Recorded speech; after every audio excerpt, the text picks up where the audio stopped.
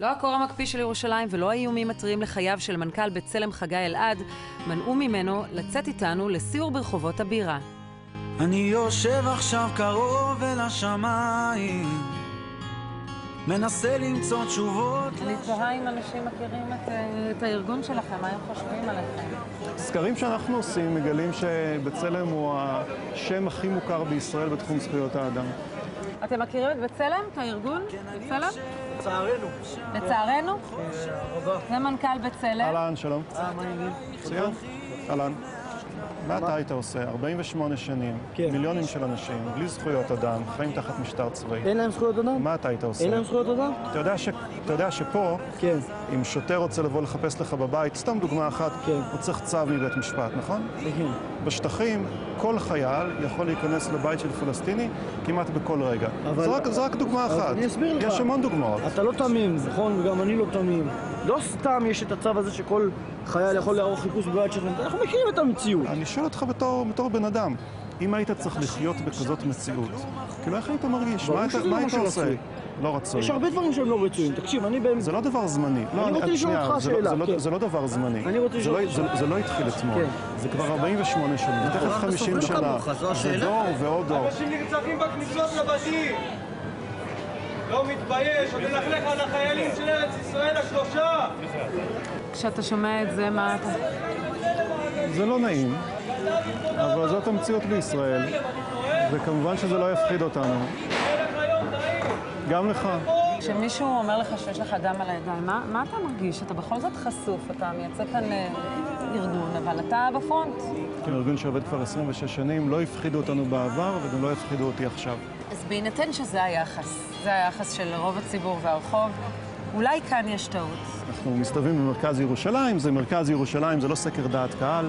אה, הסקרים שאנחנו עושים מראים לא רק שאחוז ענק מהציבור מכיר את בצלם ויודע על העבודה שלו, אלא גם שיש בוודאי לפחות מיעוט משמעותי בישראל, מיעוט 20 משמעותי, אחוז אהבתי את ויותר. המינוח הזה. 20 אחוז מהציבור מיעוט. זה לא מעט מהאנשים אה, שמאמינים בעבודה שלנו, מכירים בחשיבות שלה ורוצים בסיום הכיבוש. קר נורא, בוא ניכנס לשתות קפה. בשמחה. אתה באופן אישי מאוים? אתה מרגיש מאוים? אני זכיתי לככב כאחד מארבעת השתולים בקמפיין שלי, אם. תרצו. אה, זה ודאי לא היה דבר, אה, דבר נעים. אני מאוד מוטרד, אני מאוד מוטרד מהדינמיקה הזו. אני חושב שאי אפשר אה, לחיות בפחד, ואי אפשר לעבוד מתוך פחד. אה, וגם אי אפשר לפעול מתוך, אה, מתוך פסימיות. אני מאמין בזה שבסופו של דבר דברים יכולים להשתנות בצורה חיובית לטובה, וזה העתיד שלטובתו אנחנו פועלים. אני רואה גם איזושהי אופטימיות בהתקפות עלינו בזמן האחרון. למה? אני חושב שאם לא היינו חשובים, אם לא היינו משפיעים, אם לא היינו משמעותיים, אם לא הייתה תחושה אולי שמשהו מתערער בסטטוס קוו המאוס של 48 שנות כיבוש, לא היו טורחים כל כך להתקיף אותנו. אני הייתי מוטרדת נניח מהקמפיין של הקרן החדשה שמציג את אה, רבין כמי שנוטרל על ידי הימין.